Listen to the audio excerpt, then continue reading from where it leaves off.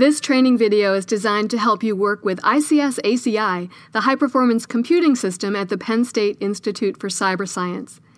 In this video, you'll learn how to use WinSCP on the ICS ACI system. WinSCP is a free commercial software product. It helps you connect to a remote system so you can transfer and manage files. If you don't already have WinSCP, you can download it at this URL. To start WinSCP, go to the Start menu and click on WinSCP, or use the shortcut on your desktop like we're doing here. Use New Site to initialize a new session. You have to define your connection details. Select SCP as your file protocol for transfer to the server. Enter the host name of the cluster you want to connect to. In this example, we want to connect to ACI, so we're using acib.aci.ics.psu as the host. WinSCP sets the port number for the protocol you selected. For SCP, the default port number is 22. You'll only need to specify the port number in rare circumstances when the server uses non-standard protocol. Now enter your Penn State user ID and save the connection details. Set your session as a site, for example, ACIB. The default site name is username at hostname, and in this case, the hostname is acib.aci.ics.psu.edu. But if you don't want to choose this format, username at hostname, you can enter the site name of your choice, as we're doing here. You'll see your saved session appear in the Site panel. Notice that you can edit the session details by clicking on the Edit button.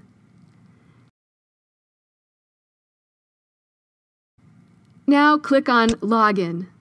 When you see the authentication banner, click Continue. A dialog box will appear. You can see the actions that WinSCP is taking.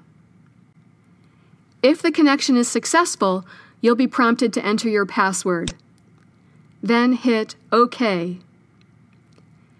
Two-factor authentication is required, so a Duo push request is sent to your smartphone.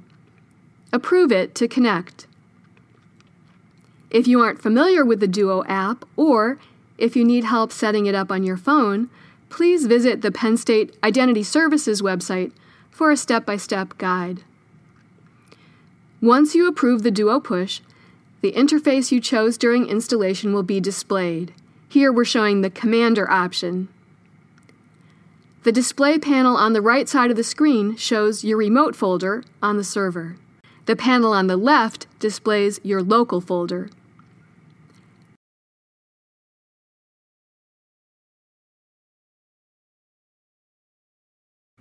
Now the left panel is active, so any action you run will be performed on your local folder. If you want to work on your remote folder, just click on the right panel. Now we'll create a new folder in a remote directory. The right panel should be active to work in the remote directory. Go to Files, select New, then Directory.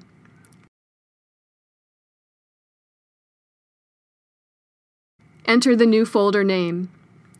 You can customize the folder attributes and save these settings.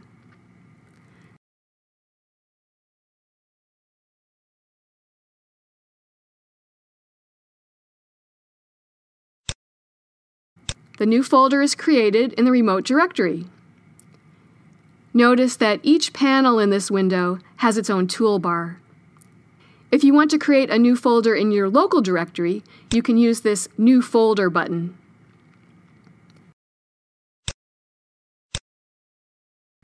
Now that you know how to create new folders in both remote and local directories, here's how to transfer several files to a remote directory all at the same time.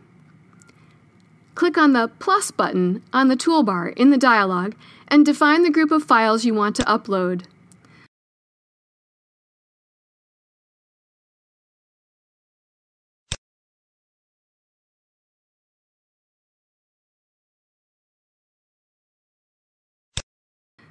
Click on this Upload button. Enter the name of the target remote directory and enter the name under which an uploaded file should be stored in the remote directory. To download files from a remote directory onto your local computer, you have to follow the same steps as described for uploading files. The difference is that now you work in a remote directory, the active panel on the right. To download a file from a remote directory to your local computer, click on the selected file in the remote directory and then click on the Download button in the toolbar.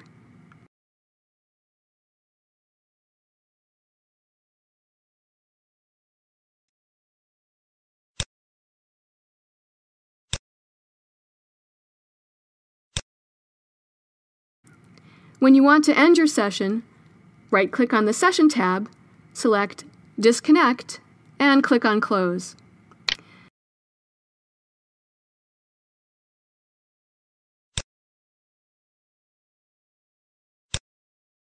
So congratulations, now you know how to transfer and manage files remotely using WinSCP. We've got more training videos on our website, ics.psu.edu.